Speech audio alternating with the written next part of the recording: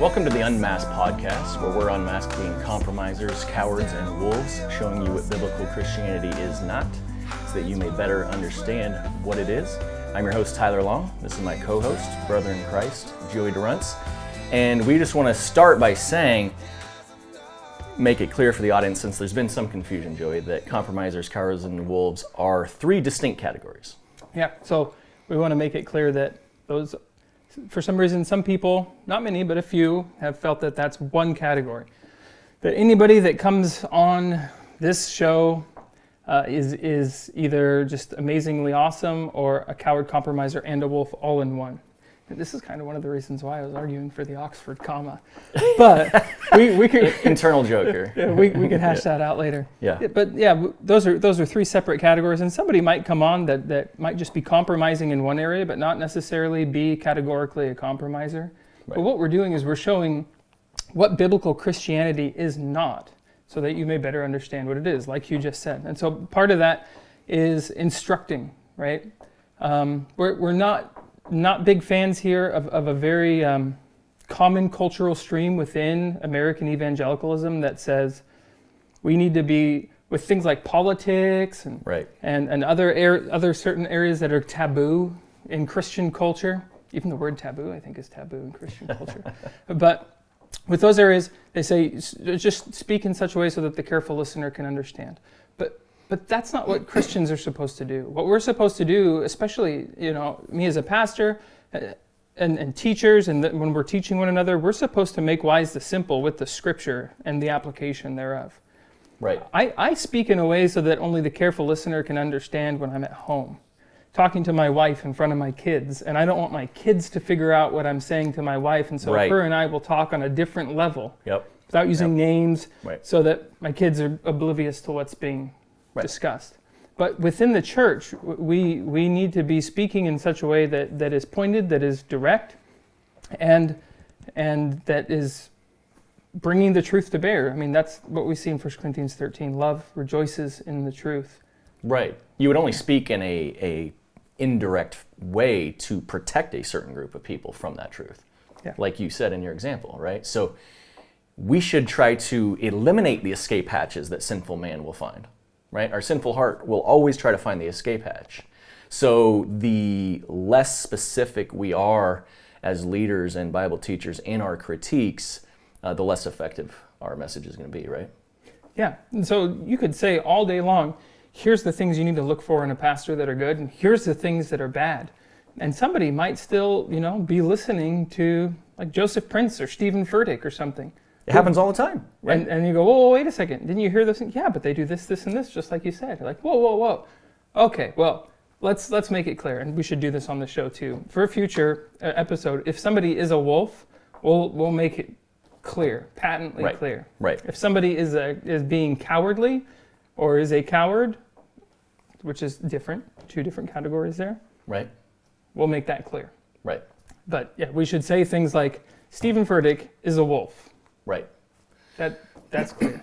Right. So, for example, I think it was wasn't it Rodney Howard-Browne who, right at the beginning of the COVID uh, shutdowns, kept his church going full strength, which we would uh, obviously agree with. Not in that sense, but he's, he's, a, a wolf. Yeah. Right. Yeah. yeah. He, he's he's an absolute wolf. Um, you know, feasting upon the souls of, of men. His his appetite is his belly. So he was courageous in that regard, but he's a wolf. Yeah, right? absolutely. Yeah, good. So this episode is going to be long overdue, a Q&A episode. We've had a number of communications uh, come to us with, with questions, clarity on certain topics, a lot of it related to church and state, of course, uh, but some uh, not related directly to that. General Christian living. yeah, and we've been uh, wanting to get to these things, but events have, uh, you know, kept us uh, focusing on, on bigger issues at hand um, as well as you know church uh, needs that have kept us from recording. Yep. And of course, church comes first. Uh, if, if we if we were putting the podcast before the life of the church, we would be undoing the ministry that we're trying to do with the podcast. Right. We're talking about yeah. the importance and supremacy of the local body. Amen. Right. Yeah. So. Absolutely. So, just a quick update before we get into the Q and A. There's been a lot that's transpired uh, since our last recording. So, um, I believe that James was still uh, in jail uh, at our last recording, James Coates, Yeah. up there at Grace Life. Thankfully, he's been released. Sadly, the persecution has just diverted to other areas. And it's gone Yeah. from testing the pastor in terms of his fidelity. Okay, pastor, you're going to be tested. You can choose jail or you can choose um, obedience to us rather than obedience to Christ. And so they erected a big barricade around Grace Life Church. They've manned it with armed police officers, and now they're taking that same test to the congregation, I believe, because they're basically saying, okay, your pastor's faithful. How faithful are you? What are you going to do, congregation? And the community, even around that area, from what I understand, is being just as harsh as a lot of the police. Oh, yeah. I spoke with one brother there that, that lost his job because of it, and, and and some some other people that are you know experiencing some some form of persecution in one manner or another, and it's just yeah it, it's it's irksome to see at the least. It, it's so sad because even Canada, the whole the whole West, you know, especially out here in the Americas, Canada, America, we've been so heavily influenced and founded upon so many Christian principles Right. that the people don't understand that the worldview that they're attacking and the principles they're attacking are the very ones that undergird their freedoms. Right. And so the people are eating away their own freedom in a pursuit of freedom, under the banner of freedom. Right. And, it, and rather than what the community should be doing is rallying behind these people, like Grace Life and the other faithful churches, and helping support them and showing solidarity with them, even if you're not Christian. Right. The, the, you, you can only have freedoms. You won't have freedom in a totalitarian, you know, statist Nope. society. You're not going to have that. No, the exact same principles that we're using um, in regards to our arguments, the law of lesser, uh, the doctrine of lesser magistrates, the idea that all government uh, is uh, gets its derived authority from God. That's where we also get our concept of inalienable rights, Yeah. right? So if you try to separate the the lawgiver from the law, you end up with tyranny. It's a natural uh, outcome. Yeah, that's why um, what's it, Samuel Rutherford. We were talking about this before we started recording the show. Samuel Rutherford was he wrote that book Lex Rex or that paper, Lex Rex, the law's king, and he I mean they were burning the books, they were banning the books be, because what was before that Rex Lex the no no no the king is law, and, and things were set up in such a way it wasn't right, but it, it was because man's sinful tendencies would take over. And so anything the king would do was like the Pope ex cathedra. Mm-hmm. Anything he said was basically inscripturated in law. Right. Right. So if he said, I, I want you all, all you peasants to do this, to put your kids to bed at 5 p.m. and Right. to jump on your right foot everywhere you go, they Yeah. would have to do it. Most of them wouldn't. They would want to revolt. But what Samuel Rutherford did is says, no, no, no, no, no. There's a higher authority because you look, you're looking at Romans 13. Every soul is to be in subjection. Yep. So then you have to ask the question Does the king have a soul? Not figuratively speaking, right? Does Caesar right, have a right. soul? Uh, not like in the sense you're so soulless, not, not in that pejorative sense, but actually, does he actually have a soul? Yet every living being, every living human has a soul. So then he's in subjection to. Who's the authority that he's in subjection to? Well, first and foremost, the same one we all are, to God. But then secondly, he's, he's also in subjection to the people because if you don't have a people, you, you're not a king. Yeah. Adam wasn't born a king. Right. Adam, Adam was, was created and, and was born from God, and he was just a man. And he didn't become a husband until he had a wife. Right. And then he didn't become a father until he had a child. Right. And so we, we see that outworking of that even from the early stages of Scripture. But No, you're right, and this is semi-related on the same topic, but I wanted to throw it out because I think it's important. Even those Christians who think, well, it's it's for our health. That's let's say for hypothetically that you buy the argument that it's as dangerous as they say it is. I don't for one second, but let's say hypothetically you do. By you even granting that um, authority to the government, you are stating, and this is the Trojan horse that's im- imported in with that, is that that's the proper purview of the state to make sure, above all else, that we are safe. Now, granted, they should protect us from evil, like crimes, murder, rape. That is uh, implicit in Romans 13, right? Or stated explicitly, excuse me. Um, but if they can justify their actions with safety, that is antithetical to liberty. Yep. Antithetical to liberty. Well, so they could justify anything, literally. So in the 1940s, they could they could justifiably outlaw interracial marriage because you're likely to cause strife in this community. It could result in murder, and they'd be right. It will result in violence and murder. Yeah. Okay, so see how that's anti- antithetical to liberty. It should be up to us as individuals outside of things ordained as evil by God to decide what our risk tolerance is within a certain uh, you know, degree. Yeah. Right. It, well, part of that that plays into that is there's laziness. I mean, Mm-hmm. so many people have been fed on the silver spoon of the government, and this is no accident. Right. That, that they've taken over schools and they've gotten the church out. You know, if you read through um, Christian Manifesto here by Francis Schaeffer, written decades ago, he, he, he told us what was going to happen, Yep. and it happened. I mean, Yeah. so much so that you, you'd be like, if you were a cessationist, you'd be going, man, is there still prophecy today? Because Yeah, this yeah. guy seems like a prophet. No, but in all seriousness, he, he lays it out. Humanism was deemed a religion Yep. by the Supreme Court in I think the 60s or something, or the 30, like 30, in some point between the 30s and the 60s, it was, it was deemed um, a religion, and because it has all the tenets of religion. Everybody's religious to one aspect or another. What's your? Do you have a doctrine of God? Do you have a doctrine of man? Do you have a, a doctrine of ethics? All of those things play in to your worldview, which White privilege, Yeah, critical yeah. race theory. yeah, read through fault lines, and and Voddie does a great job laying out the social justice religion. But but everybody's been so silver uh, on the silver spoon, so fed, spoon fed for so long, they've become lazy. And Yeah. then instead of looking to their parents, looking to their community of faith, looking to themselves for self discipline in these areas, ultimately, I mean, not, I'm talking non Christians here Yeah. they're looking to the state to fix the problems. Obviously, the first place we need to be going is looking at Scripture. What does God's Word say? Yeah. And but the other part that has played into that is that pastors have not been functioning as pastors. No. There have been so many hirelings for so long, just wanting to not rock the boat. Yep. Um, They're not the pillar and support of the truth. They are, I don't know, those climbing into the life raft or standing on the mezzanine.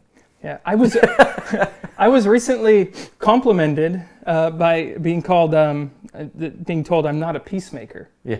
And I said, and I was like, that's interesting because I, I do look at myself in some fashions as, trying to make peace. And so I was like, I mean, and that's something that Jesus talks about in, you know, in uh, You Matthew can 5, make peace 9. in areas where God has given you auth- authority or liberty to make peace. Yeah. Not so in areas where He has declared war. I, yeah, I can't say to somebody, oh, you know, things are good with you and God, even though you haven't repented and you haven't put your faith in His Son. So I asked the person, what do you mean? And he said, um, you're, you're not a peace at all costs kind of guy. You're, you're more of a, a peace if possible, but truth at all costs kind of guy. I was like, oh, yeah, In other Yeah, words, a faithful pastor. Th- Yes. That's that's what we should be doing. Absolutely. But, but playing back off of your thing, when, when, when we relegate things to um, like COVID as being evil or other other pestilences and things, we have to have a proper a, biblical theology of evil, a proper even systematic theology from the Bible of evil.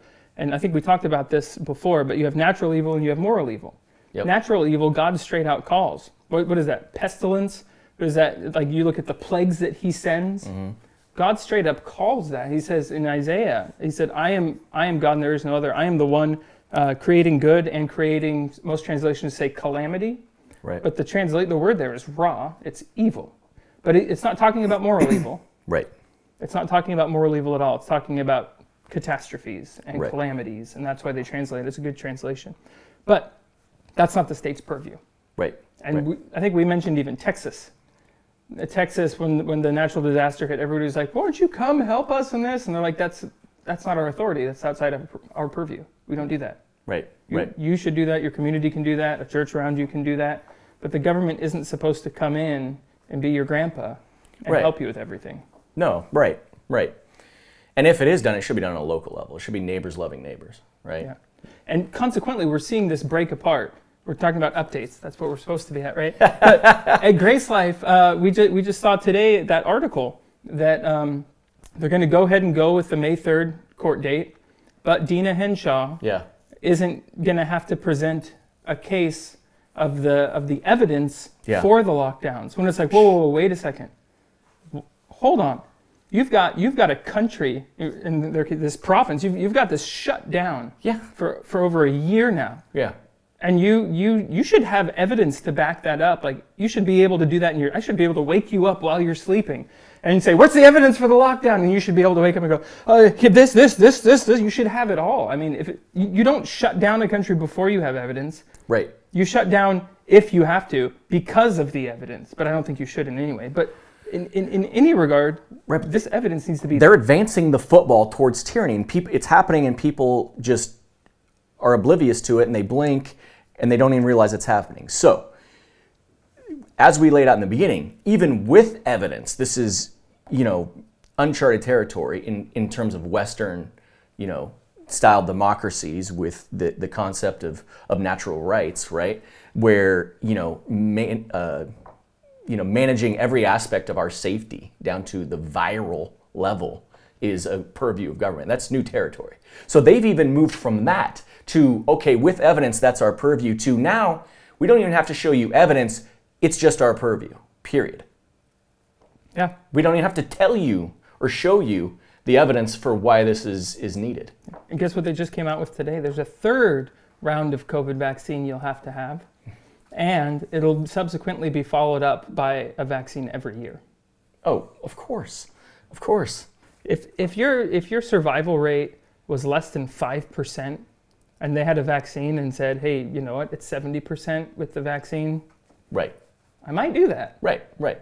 But when your survival rate's over ninety nine percent, Yeah. and the rate of the vaccine's less than that, you're like, man, you're going the wrong way. Like, Right. Why would you even do this? I've had people ask me, why, why won't you get the uh, COVID uh, vaccine? I was like, well, I've never in my life gotten a flu shot. Hasn't been worth the 15 minutes of my time in my risk analysis, so why would I get a COVID shot?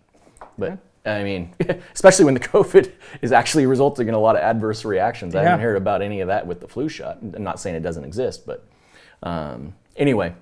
So yeah, the Grace Life. Uh, thankfully, they are being faithful and they're meeting underground uh, right now. They met at an undisclosed location this past uh, Sunday, and nothing is going to stop them. Not Jason Kenney, not the Alberta Health Services, or anyone else. The people that should be supporting and helping them. Yes, um, not the uh, uh, Royal Canadian Mounted Police or anyone else who should be interposing on their behalf. Nobody's going to tell them that they can't worship uh, God on the, on the Lord's Day. So good for them. Um, prayers continue to go out for them. We, we were meeting underground this uh, whole summer. So not Yeah. to say that we uh, know what it's like to be fully under assault like they are, No. but in anticipation of what was to come. And since we could no longer meet where we were meeting, we made the same decision they, they did that not meeting isn't an option. So um, we've, we've are- met in a warehouse before. So yeah, those are sweet times. You know, you get the vents up top going, and it almost sounds like a flock of seagulls, seagulls, up there the seagulls. Oh, we missed Yeah. that. Yeah. the seagulls. Those were some sweet and precious times, though. They you know? were. They were. And I never thought I'd have to train the ushers to say, if the police come, yeah, do not let them in and unless you ask them, do you have a warrant signed by a judge? yeah, yeah. We had a whole plan ready because we didn't know how this was going to end. We've gotten more bold as time has gone on, uh, of course. But yeah, in the beginning, if somebody wanted to visit, we would vet them, make sure they're a real Christian, not just somebody. Because you know, you had some people not respond to you um, when you when you asked them some questions. So Yeah. because we were public online that we were meeting, but we were not disclosing the location. Yeah. Right. Because also because the person that, that owns the location, it wasn't like it was a place that could get shut down Right. and could do a lot of damage also in that regard. yeah. Whereas now where we're meeting, even though we haven't been abiding by the rules, unless well, they recently changed. I think so. So I think we are now. Well, no, we're well- still not because Oh, uh, we're I. I looked that up. So here's the current. Uh, I'll just say Rules for- now. Now that we're in a spot where it's not going to put anyone at adverse risk, we're just like doors open. Here's where we are. Come visit us. Doesn't matter who you are. yes. And so right. yeah. Exactly. We're more public about it because um, it's going to be a shared risk. yeah, So that's good. But um, short, long story short, Grace Life, uh, um, we appreciate uh, your faithfulness. Uh, there's some other churches up there that have uh, publicly stated they're open, so I'm not outing anybody. That's all on their social media. We got uh, Grace Life Fellowship in uh, La Crete, Alberta, Fairview Baptist Church in uh, Calgary, uh, of course. And then uh, remember that viral video from uh, that that pastor Polish Arthur pastor? Pawlowski out of Calgary, where he told all the um, Nazis. yeah, yeah, the police and the health services that th- they were not welcome. Get out! I'm not even talking to you. You're Nazis. And I got to say, I agree with his sentiment. So um, that's how it should be handled once they're there. Now, that doesn't mean that Grace Life was wrong to be generous and gracious. I think you should assume the best until they prove otherwise. But uh, the, uh, The RCMP proved unfaithful and, Yeah. and duplicitous in regards to James and Grace Life. Grace Life was like the test case, it seems Right. like. Yeah. And then this guy, no doubt, knew. Right. Arthur, no, Pastor Arthur, no doubt knew what had happened. He was like, no, we're not going to come in here and do this. here." Right. You're not going to do me like you did James. Yeah. Right. And we, we even see, you know, a, a, a change in approach with Grace Life after the pastor was released and those, those RCMP officers were trying to get in. And, and those, those ushers were, uh, deacons were outside saying, no, I'm sorry, you, you can't, unfortunately, you can't, because it's going to be disturbing the worship service under criminal code. Is it like 1 7 something? Mm-hmm. And, and so they, I mean, they were still being respectful, still saying, no, not going to happen. But there's a difference there with Arthur because he, I think he, he grew up Yeah. in communism. communist Poland. Yeah. And they're always the ones who get it. The people that have fled Cuba, the people that have come from Eastern Europe, I've got like they get it. neighbors. Yeah, my neighbors Yeah. are Ukrainian and Russian, and and they're just like, oh, we left to get away from this. We've got a doctor that that um, has family ties to South America, and he's just like, and I asked him months and months ago, like, what's your view on this whole thing? Like, well, your professional opinion. He was like, if this wasn't an election year, none of this would have been happening. Oh, he yeah. said, this is the same thing that, that I've seen in South America. This is socialism trying to take over. And so, They- like, they they all saw it. Yeah. But we here in America, we're just, we've been so trusting, and the government's using that against us. Yes. That we th- we've been lulled to sleep because of our centuries long history of freedom and Yeah. limited government that we don't think it's happening to us. When we're getting lied to, um, these tactics that are being used, safety, safety, are tried and true in every despotic country As that's soon as, ever as soon as the Supreme Court set out and, and did Roe v. Wade, it was, you knew for, you sh- we should have known for certain it's over. Mm-hmm, Because they're saying, they're deeming a certain life that God has conferred value upon un, unvaluable. yeah.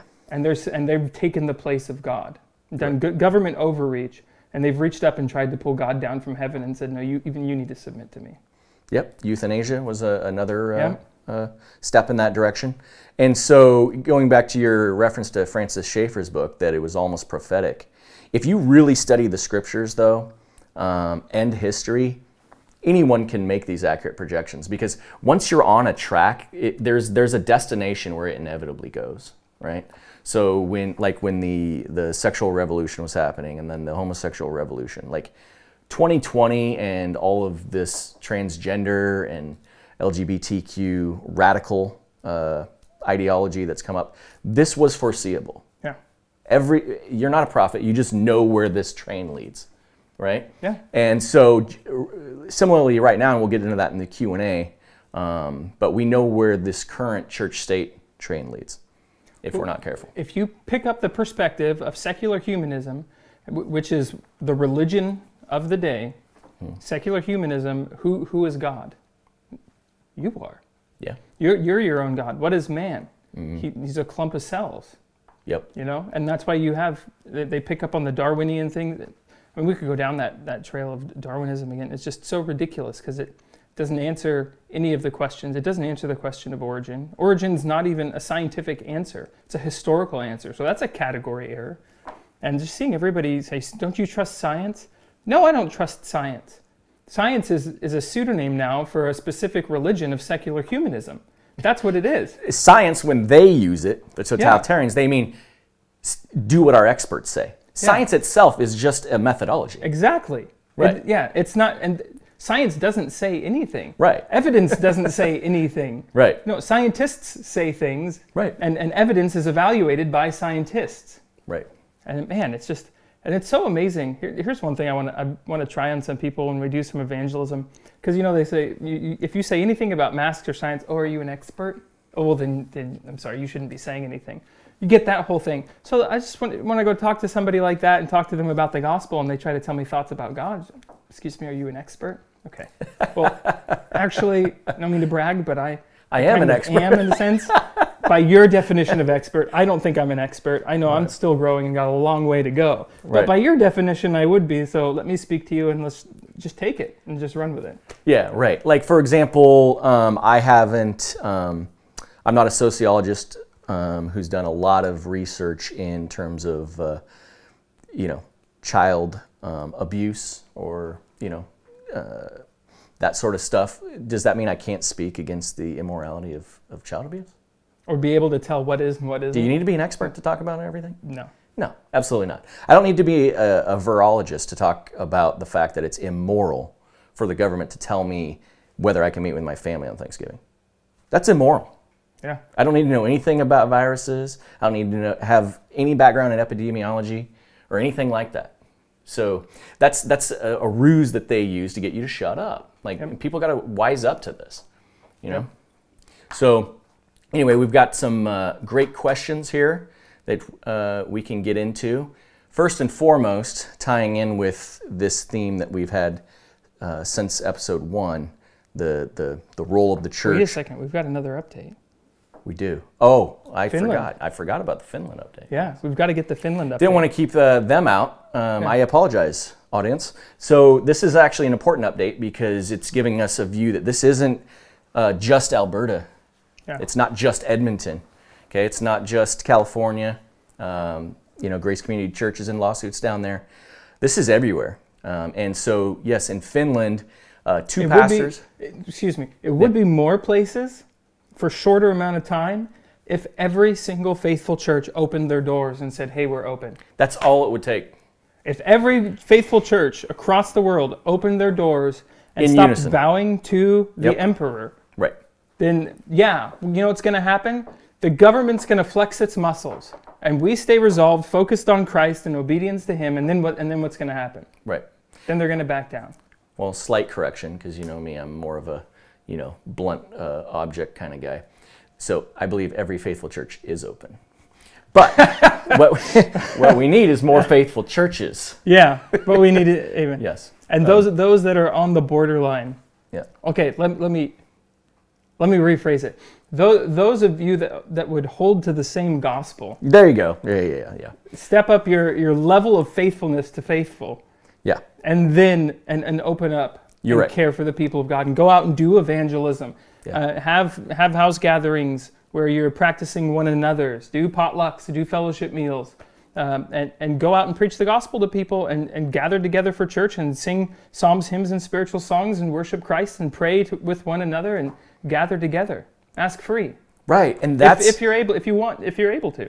I mean, Right. My point being, pastors, you can't mandate masks in the same way you can't mandate not wearing masks. You don't get to tell uh, your congregation what articles of clothing to wear. It's only Scripture speaks to is it modest. Right. Exactly. Right. Yeah. No, you're right, and so that's that's our that was our uh, goal for this this podcast as we've been focused on the church state issue. Um, you know, long term, we're of course uh, dedicated to exposing compromisers, cowards, and wolves, which isn't just on church state, but that's the battle at hand. So that's why we've been uh, focused on this predominantly. But um, our our hope is to encourage those on the fence to get off the fence, because like you said, if everyone who holds to the true gospel were unified in this, this would end in short order. I mean, the Black Lives Matter movement is a testimony to how a loud vocal minority can sway, you know, the trajectory of a nation, right? Yeah. Now, grant, I'm not going to, you know, correspond them exactly. Obviously, they've got a sympathetic press and whatnot, but the, the power of the minority is seen in, in myriad examples. And so, um, He gets in uh, Francis Schaeffer's book. I think he goes over. There's the silent majority, and then he says, and within that, there's a there's a majority and there's a minority within the silent majority. Right. And the majority, what they care about is just peace and possessions. Essentially, I forget that's not the exact terms he used, but essentially that's it. Yeah. I I'm gonna I'm gonna vote conservative, but I don't want to get involved in anything. I don't want to speak up. I don't want to cause any waves. I just want to keep peace and and be able to keep building my castle. Right. Right. Right. I want to be able. I don't want to be like you know Nehemiah. I don't want to build the wall with a sword and a trowel. I just want to be able to have two trowels in my hand, building my wall, not my wall, but my own castle for my own house. And then there's a minority in there that says, no, no, no, actually, we need to love our neighbors. And we do need to speak up against these things. And it's not just enough that we vote conservative, we actually have to live a certain way and go out and, and garner um, you know, public support in these areas and take over certain public areas for the Right. truth of Christ. Right, because unfortunately, cou- courage is a scarce commodity, right? If, if it weren't scarce, it wouldn't be lauded so much. Cour- Courage, yeah, courage is a virtue that is that we're supposed to have. Right, we are supposed to have it, 'Cause but if it's you're still rare. Yes, That's the first thing listed of the people that won't get into the new heavens and the new earth. right, which means it's common, Yeah, right? Because which means um, it's unclean. Yes. no, exactly. So if we're we need to be that vocal minority within the majority, because I do believe even the majority in a place as uh, liberal as Canada, the majority are opposed to these draconian lockdowns. Now, of course, there's going to be some nuanced positions in there, but I think if you were to just ask everyone, you know, should they be, you know, limiting you to, you know, 15 people, you know, or 15% or whatever, most people would say, no, it's time that this stuff ends, right? And I, I do think that that's the case in Washington as well, um, and all over the United States. I mean, California, it's as liberal as it, as it gets. Why do you think Gavin Newsom's in a recall? Because they're done. Yeah. They're done with it. Because he was Yeah. going out in public too much, and he were, Yeah. Jay Inslee's just hiding back. He's doing a good job of that. He's smarter. Yeah, he's, he's more shrewd. Yeah. But yeah, in Finland, we gotta we gotta Yeah, keep the brothers Finland. over there in prayer. There, there's Absolutely. um, so this I there, there's a, a brother of, of, of ours named Miska Wilhelmsson. He did a video. We'll try and post it uh, below a, a link to it if you haven't seen it already. He's um, he's a pastor up there in Finland, and one of his kind of like sister churches that pastors that he's friends with that he knows personally. So this isn't like super far removed. I, I went to seminary with Miska, and so I know him well. He's a solid brother. But there's uh, two pastors, uh, Tommy Matika and Tuomas Tapila. They're, they're uh, pastors at Espoo House Church, I think is how you say it, in, in uh, how you would translate the next word of the church. Um, they were arrested. They were meeting outside. They were gathering. to- Outside. they were gathering together outside because they couldn't. The restaurant they normally rent from uh, wasn't having people in, so they were. But they were gathered outside, and each family was socially distanced. So one family together, and then the next family. And even though, from what I understand, they don't even have to do those things, they were doing it. And the police came with masks, and and told them, no, you need to. Every single person needs to be two meters apart. And it's like, whoa, whoa, wait. He's like, no, no, no. This is my my wife and my kids and everything. And he's like, no, they all have to be separated.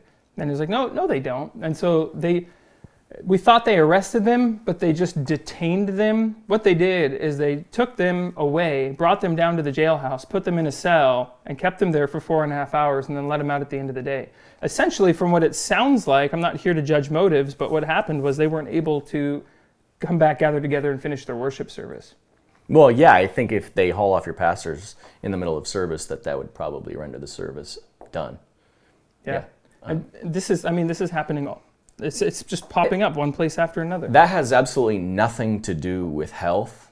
That has nothing to do with uh, expert opinions about the spread of a virus. That has 100% to do with you are our subjects, you will do what we say, and if we say jump, you ask how high. Yep. Period. That's all that is. Yeah. There's no reason for power. families that are socially distanced and outside for the police to come and arrest their pastors. They're like, oh, you guys having fun? Watch this. I'm going to haul your pastors off. Like, they're trying to wage psychological warfare on you, on, on us people. Yeah. Like, that's what's happening. They, that's what the offenses are around Grace Life. Granted, they didn't want them to meet, but there's also a psychological warfare component to this. They Because Grace Life was the most visible church. Okay, visible church, check this out, right? Okay, you, oh, they could have uh, arrested these pastors on Monday. No, you know what? We're going to come over in the middle of your service, even though you're outdoors, we're going to arrest you. And they released them that same day, which some people say, oh, that's not that bad. No, that means they could have arrested them at any time. They made a point of arresting them during the service. Like, you got to understand uh, what the stakes are. The question is okay, do you um, stare them down and, um, you know, stay faithful to Christ and, and give them due respect in all other areas, but at the same time say, no, I'm not bending on this? Yeah. And here, here's the thing that we have to keep in, in mind so we don't go, we don't end up copying their sin and showing spiritual solidarity with these wicked tyrants. as we're obeying Christ, which per- is perceived as disobedience to them, but it's actually obedience to Christ, we need to be praying for these people. And here, we, we have to stop having fear of man. Because I can tell you, you know, we go out and we do evangelism. I try to do evangelism as often as we can. If you're afraid of talking to somebody, or if you're afraid of somebody that you might talk to or that comes and talks with you, what are you going to be thinking of? Self preservation. Yeah. You're not going to be thinking of the gospel. Right. These people need the gospel. These people need to come to Christ. So, yeah, maybe we can, after a long battle, convince them that what they're doing is wrong. At the end of the day, they're still going to hell. Right. And so we need to be praying for their salvation and bringing them the gospel. And so, just like, you know, when somebody comes and they, they come and they talk to me and, and they'll, they'll say, Oh, so you're a Christian? Oh, so what's your view on homosexuality? I, I, you yeah. know what I do? I'm not going to answer that. You already know what it is. You just want to fight. I'm right. not here to just fight and argue with you. I'm here to proclaim Christ and His supremacy. So I'll go, hey, you know what? Uh, that that's a good question. Uh, let's I'll, I'll, answer that in a second. But first, and go back to Christ, go back to the gospel. If we could grow in our evangelism and our apologetics and being able to redirect our conversations back to the gospel, mm-hmm. I I think we'll see a much different approach in the years to come might take a while, but you know what? We might be sowing seeds now that our kids or our grandkids will be able to, to reap the fruit of. But we, we can't be afraid of these people. Our only fear should be our fear of God. Yeah, right. That's exactly right. No, I agree. Um, it's because the gospel's been uh, veiled by the church. Uh, it's taken second place within the church. Uh, our mindset and popular uh, Christianity. And that's stealing God's position again. It's yes. not the church's job to veil the gospel. If God wants to veil the gospel to somebody, He has the prerogative, He has the right, He has the authority to do that. We don't. Right. We're supposed to just go and proclaim the whole gospel to yep. all creation. And if He wants to veil it, He can. That's not up to us. No, exactly right. Exactly right. Um, so I, I suggest that we deal with this uh, one major question because it ties into exactly what we're talking about. Um, and that is this issue of the role of the church and why we meet and why mask mandates um, within the context of the church, well, outside too, but we're talking about the church right now. Why is this wrong? Why is this a hill worth dying on? That's, that's a question that we've heard uh, from a few different people, right? Because there's yeah. hills worth dying on, there's hills not worth dying on. Yeah. I, I think before we get there, there's one thing we've got to step back and if you're a Christian, one thing you need to ask yourself, especially if you're a pastor, is what hills am I going to be willing to die on? You, you need to have, I mean, and it might shift over time as things shift around you and, and as you grow and you learn more. But if you don't have a set, these are the hills I'm willing to die on, one of two things is going to happen. You're going to die on every hill and you're going to relegate it to, well, this is truth. Uh, we have to, it's truth. It's for the truth. It's for the truth. And, and then you're going to just become annoying and obnoxious. Or you're not going to die on any hill. Yeah, one of the two. Right. And you're just going to compromise on everything. And you're going to find some special way to label it like peacemaking or, you know, I'm, I'm just, I'm just um, going the extra mile for the glory of Christ or something. But especially if you're a pastor, you can't go the extra mile with something that's not your own. The church isn't your own. You don't get to do that. Right. And so I think we need to start with that. But why is this a hill worth dying on? Because it goes back to authority. I mean, when we look at Colossians 1, Colossians 1:18, he is also head of the body, the church, and he is the beginning, the firstborn from the dead, so that he himself will come to have first place in everything. Mm. I mean, we read through Colossians 1 and we just see this beautiful, uh, it just lifts up the supremacy of Christ yeah. in all areas. And what we as Christians have failed to do is to actually live this out.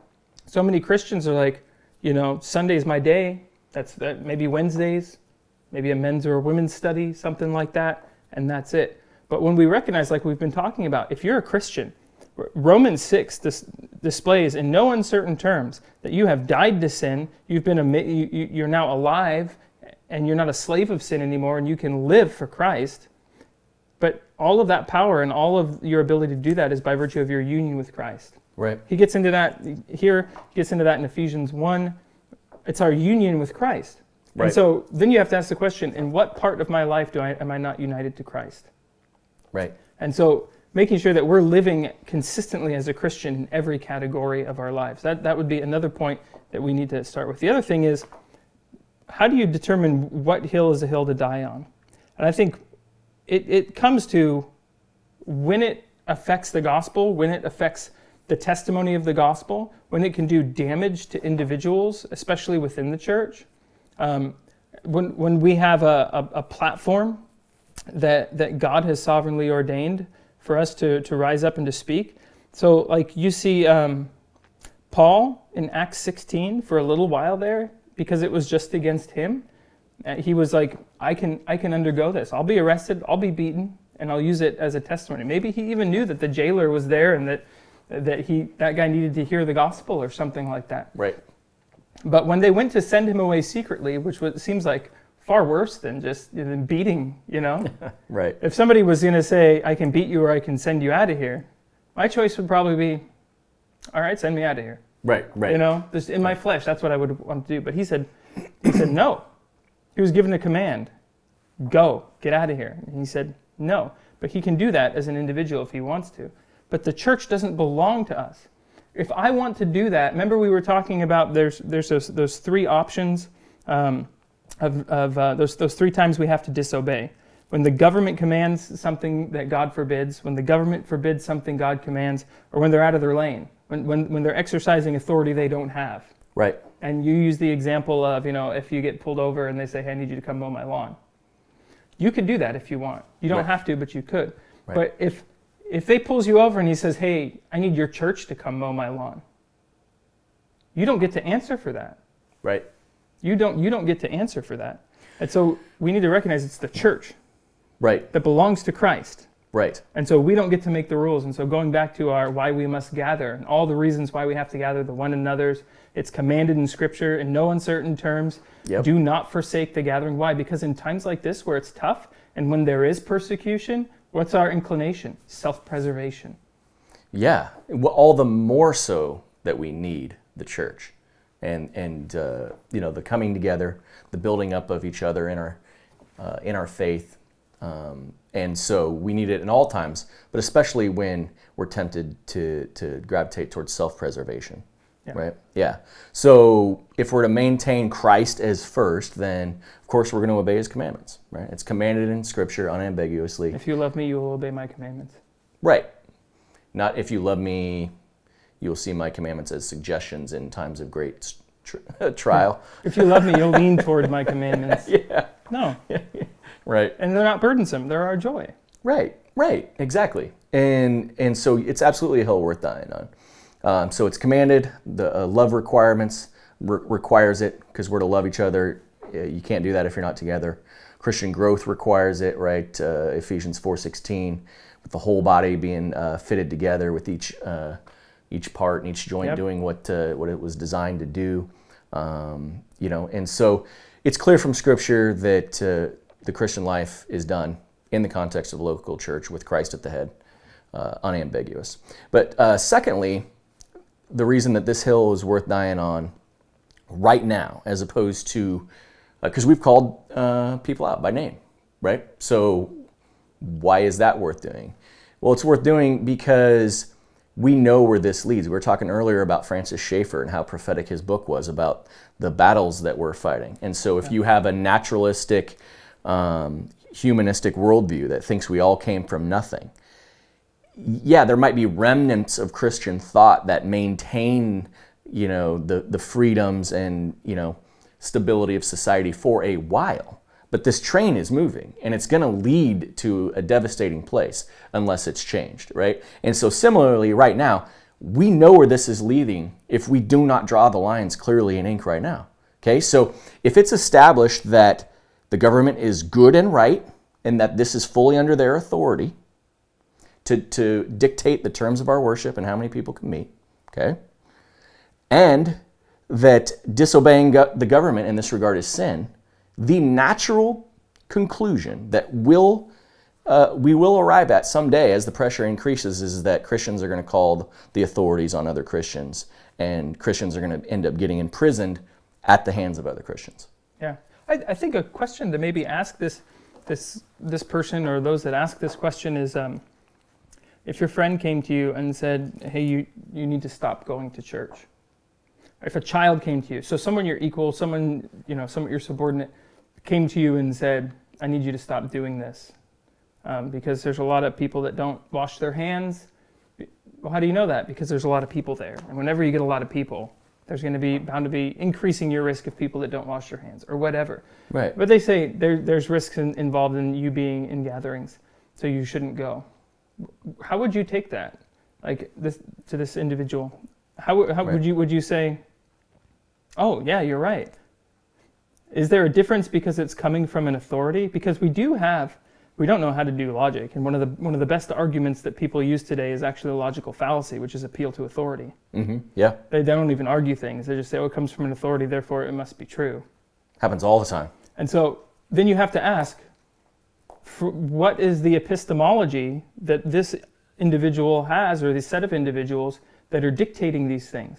For those of you at home, epistemology is uh, how you arrive at your truth. What is your source? Your, your understanding yeah. from from believing, from knowing. Um, so, yeah, how, what what does this? Where's this person? What do they think about God? What do they? Where do they find out what's right and what's wrong? Mm-hmm. Because here's the thing that we've been talking about a lot that I'm sure all of you have heard and that we keep hearing. Why won't you just love your neighbor? I'm all for loving my neighbor. Absolutely. Should I love to love my neighbor by God's grace. What is loving my neighbor? Who gets to tell me that? So if the state says, hey, we need to do these things, and then some liberal church jumps along and says, yes, we need to love our neighbor, according to what standard?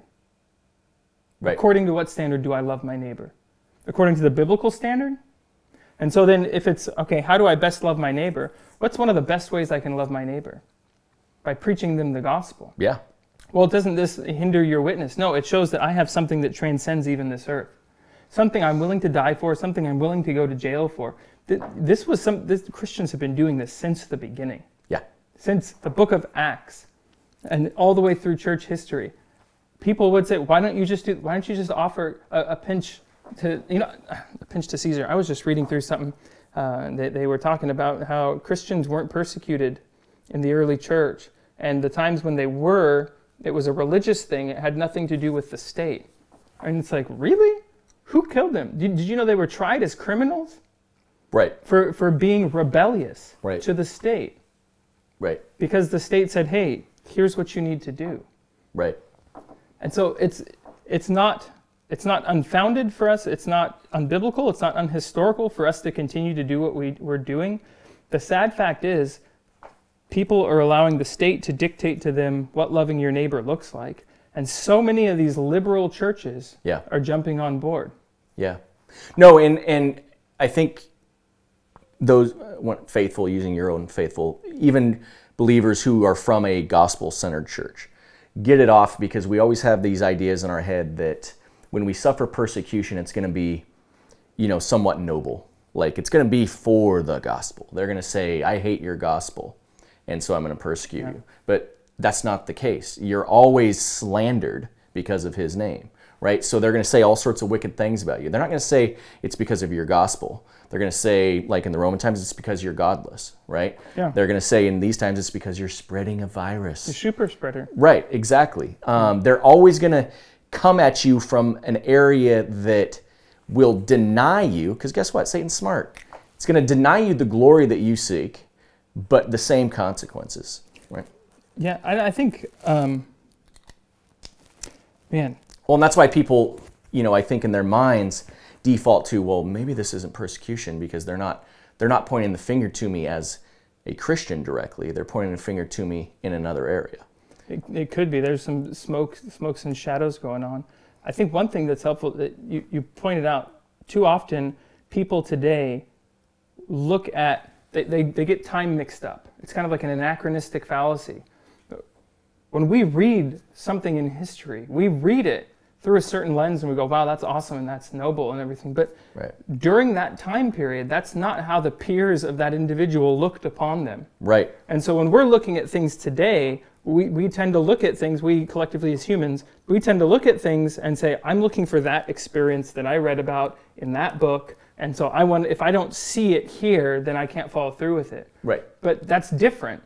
It may, maybe you will. I mean, I have no doubt that should the Lord tarry, there's going to be a church history book, and James Coates and, and the other faithful pastors in Canada are going to be in it, and rightfully so. Yeah. And it's going to picture them in the way that it should picture them, not in the way the state is slandering them. Right. And, and other people are. But that, I think that's a problem. We're looking for, for this because Yeah. that's how we saw it in the history book. Right. Yeah.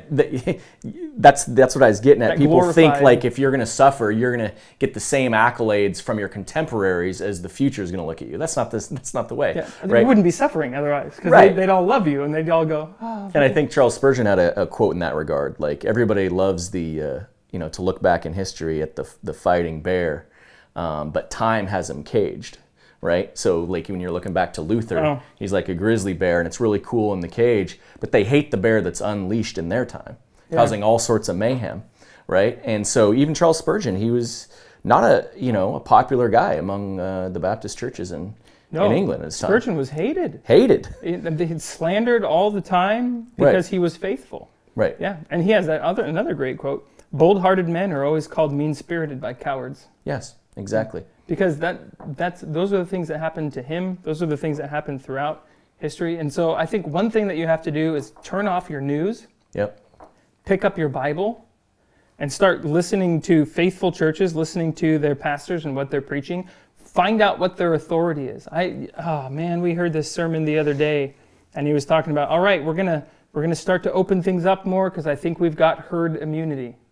That's not that's not supremacy of Christ argument right there. That's not saying Christ is the head. So then therefore the first place I need to go is not CNN, not MSNBC, not Fox News. The first place I need to go is to his word, to scripture. What does God command of me? First as an image bearer and second and even more importantly as a redeemed Right. individual Right. who I, I, my body's not my own, I've been bought with a price.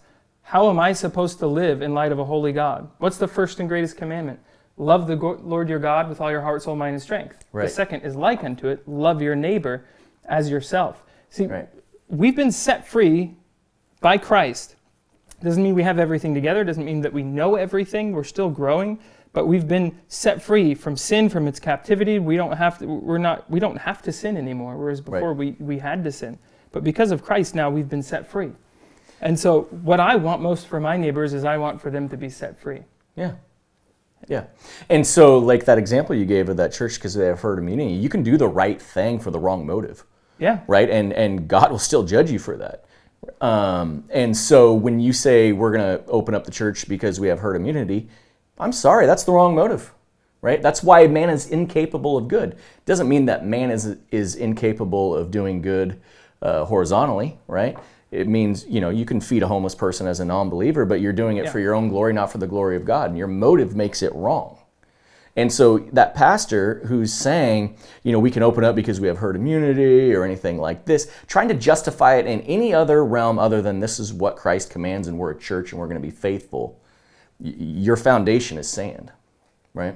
Yeah, absolutely. Yeah. So, um, This is absolutely a hill to die on. Yes. This is for the, the supremacy of Christ over his church, the purity of the, of the church. When you read through the Bible, one of the things that you understand is there's spheres of authority. Um, I think if you listen back through all of our episodes and start at the beginning and walk through, I think it'd become a lot more clear. Um, Yeah. Listen to some of James Coates' sermons, read some good books. Yep. Um, read Lesser Magistrates, read Magdeburg Confession, read um, Vindiciae contra Tyrannos, read Lex Rex, read Theodore Beza on the subject, read uh, Christopher Goodman on the subject. But you've got spheres of authority. And so I, I, I don't think that, that I think, would, would you be okay saying this is a hill to die on if I came over to your house and and came and just made made myself up a, a little bed in your living room and started telling you and your kids and your family what to do and when to do it. I mean, not anything like super degrading or anything. I'm not talking about that. I'm just saying like, hey, now it's time for you to to go to bed. Now it's time for you to put this on instead of what you're wearing. Now it's time for you to and started doing that. Would you say that that's okay? It- would would getting me out of your house be a hill to die on for you? right, right. It's because of what you're uh, you're granting that person doesn't Yeah. belong to them. They could tell you to go to bed at the same exact time that you planned on going to bed, Yeah. Right? Yeah. They could have you eat the meal that you had planned on eating. It doesn't matter. That's not your authority. This is not your realm. Get out of my house. And so then, where, where we're going with this, obviously, is that there's a family sphere of authority, there's a state sphere of authority, there's a church sphere of authority. The state is trying to come over into God's house Yep. and to say, now this is what you as God's children need to be doing. But Right. they don't have that authority. Right. The authority that the state has has been given to them by God not to oppress God's people, Yeah. but to encourage flourishing in God's people by punishing evil. Yes. And Amen. so it's a hill to die on. It is absolutely It's a hell hill to die a thousand deaths on. Yes. Uh, next to social justice, it's the hill to die on right Yeah, now. these are and like they're one A and one B right now. Oh, that reminds me of something else that I came across that was really stupid. um, so, so- somebody, how many times have I heard this is the biggest um, threat to Christianity? I saw yeah, that. yeah, I've heard this so many times, this and that, and it's like, probably because it is. Like, what, what, if, if you've got cancer Yeah. and you've got, you know, pneumonia and you've got all this other stuff going on, you're going to go, okay, what's the most dangerous? Let's take that out of the way. And then something else comes up. Oh, and then you get an infection in your foot. And it's like, well, what's the most dangerous? Like, Yeah. it's not that these things aren't dangerous. Right. It's just that by God's grace, a handful of churches collectively have been fighting against it very well and preserving the purity of the church. Yeah, how many times did Israel hear that this uh, foreign nation was the greatest threat to Israel? Does that mean there was all a lie? Yeah. so I mean, come on. we, Yeah. we've got to, we've got, this is, this uh, critical theory, read Voddie's book, Fault Lines. Yep. Um, you'll get a good introduction to it. And who's the authority of the church? Who is head of the church? Jesus Christ is head of the church. Caesar's not head of the church. How would you feel if the church, let's flip it over, if the church started imposing, not Christians that have the, the office of magistrate, but if the church started imposing certain sanctions and certain rules and certain laws on the government? What if, what if we, we came and said, you know, everybody throughout the state of Washington needs to practice foot washings? And this, you, would that be a hill to die on to say, no, no, no, no, you've gone too far. You're, you're, you're out of your lane, you're out of your sphere, you're out of your authority right now. You can't do that. And so it absolutely is a hill worth dying on. Yeah, no, you're right. And yeah, Uh, li- listen back to our other episodes. Yeah, that's what I was going to say because um, in order to do these uh, other questions uh, justice, I'm going to hold them off uh, till the next uh, episode, but uh, we'll cover them. Um, so we really answered the one question today: Is this a hill worth dying on? And that's the preeminent question on this issue. So, Yep. is this a hill worth dying on? But I see a lot of questions just in closing on our uh, YouTube page and stuff, and through our emails that we've covered previously. And so I would encourage you, if you have questions on some of these things, to listen to all of our previous episodes because most of these uh, questions we've answered. Uh, we've, we've covered this uh, issue from various different angles. Um, I know we're not the most entertaining folks in the world, but we have put a lot of research into it and we've built it uh, methodically. So if you want to know, If you want to know why this is um, another practical, more pragmatic, also why this is a hill worth dying on, watch Satan's Recycled Devices. yeah, episode one and two because Yeah. what's happening to us right now is almost identical to what happened to Nazi Germany leading up to the takeover of Hitler. I know it's ironic. I was most proud of those two episodes. They got the, the least listens and views. But You know, That's how it goes even when you're a pastor too. Sometimes you're like, man, that was a really good sermon, and people are like, thank you for your faithfulness. and and I then like one- those episodes. and then they, and then I'll preach a sermon. I'm like, man, that was a train wreck. And then somebody was like, that was my favorite one yet. And I'm just like, all right, well, Lord, you know what you're doing. I'm thankful just to be used by you. But we put uh, a lot of research into those, and, and not that you should listen just because we worked hard, but there's actual um, really good cases in there for learning from the dangers of history Yeah. that apply to this issue today. And so I'm saying it would be fruitful for you to go listen. Yeah, absolutely. Yeah, so um, do that, and uh, we will continue to uh, uh, come at this issue from a biblical perspective, try to encourage the body of Christ in this regard. Uh, if you're in Finland, uh, if you're uh, up in Alberta, if you're in Washington or California uh, or Oregon, our prayers are with you.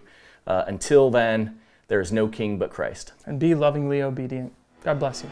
you need to weigh in on the cost factor and count the cost of being a disciple of Jesus Christ. It will cost you popularity. It will cost you promotion, perhaps at times. It will cost you an easy life. You will have to discipline yourself. You will have to buffet your body. You will have to say no to temptation. You will have to say no to this world. You will have to break with the crowd. You will have to be willing to stand alone for Christ. You will have to be willing to walk to the beat of a different drummer and to, to step out of the crowd, even if no one follows after Jesus Christ.